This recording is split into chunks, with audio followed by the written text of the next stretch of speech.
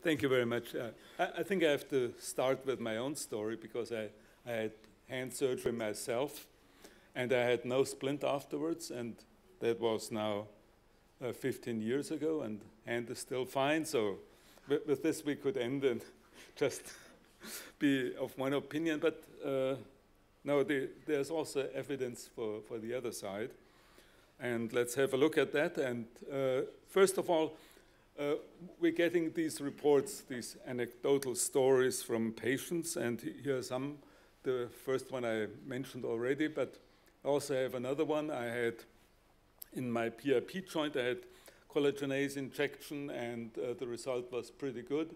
So it, there was a little bit left over of maybe, I don't know, 10% or something. And I wore, was wearing a night splint for 14 months and th that maintained uh, the correction perfectly.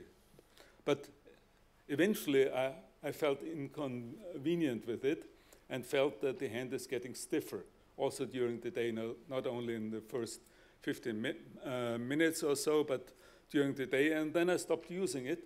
And within three months, uh, I had recurrence with, in about the same situation as it was before the injection. And here are a few more examples. One is uh, a patient with eight surgeries and one PNF, and uh, after interviewing him, his, to, to his impression is uh, you need to have splinting in case you have a joint which already has the tendency to bend back. So if it's an initial uh, small uh, MCP maybe uh, joint, then you probably won't need it, but he said uh, he, he always has the feeling that he had to have it after his uh, surgeries and also after his PNF. Another one, uh, uh, Rainer Z, is uh, wore night splints for three months uh, as it was advised. And after that, he, he was wearing it on and off. Whenever he felt it's bending back, he put the night splint on for a week or two and uh, since then, he has maintained uh, the results over eight and three years, respectively.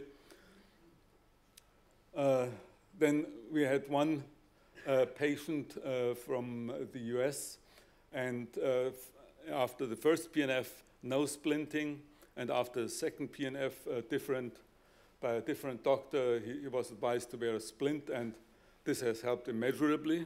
So just a story, and finally, there's one uh, patient who had been wearing consistently a splint over three years, maintaining the results of the PNF. And uh, then uh, he lost the splint when moving elsewhere and didn't wear it anymore and had a very quick recurrence. So at least this shows an effect of splinting. and to further convince you, here's a, another example uh, supplied by Albrecht Meinel. It's a patient prior to PNF, after PNF, and uh, well, you, you, can read yourself. Five weeks after splinting, you can see how the hand opens further beyond the results of the PNF. And, and that's very obvious. And after 15 months of splinting, uh, the hand has improved dramatically. So uh, this is, uh, again, anecdotal, but now by a hand surgeon and uh, a very obvious effect of splinting. And finally, uh, a data or a study from Katie Ball and Jagdeep Nanchahal. And uh, this is a small study, only six patients, even, even less than the ones which you uh, showed. And uh, different to what we were talking so far, this is a trial, uh, does splinting help without prior treatment? So uh, looking at patients uh, who had MCP or uh, and pre-splintage uh, contracture, well, two degrees is probably difficult to measure, but 10 degrees, 80, 30 or something, and then they were wearing a splint without treatment, and you can see how the splint improved the contracture and uh, uh, they were able to open the finger more and, and that continued. And in, for patient three, for example, the result was uh, pretty impressive. For others, it, it became stable.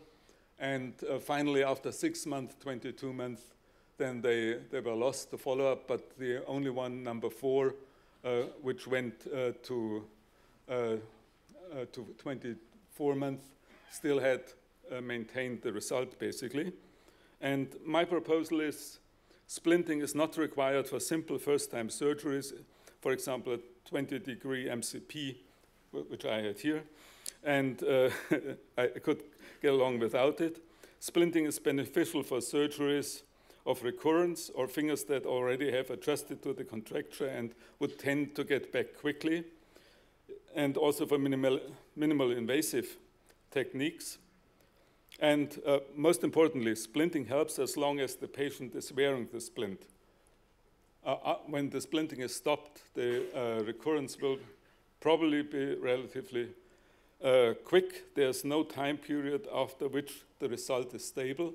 So you can't say if you wear it three months, then you're great. No, 12 months won't help. And with this one patient, if, even after three years of splinting, when he stopped splinting, he had quick recurrence. So uh, finally, splinting can even be used as a preventive measure without prior treatment. Uh, that is, there's indication of that. And with this, thank you. I hope I made my point. Thank you.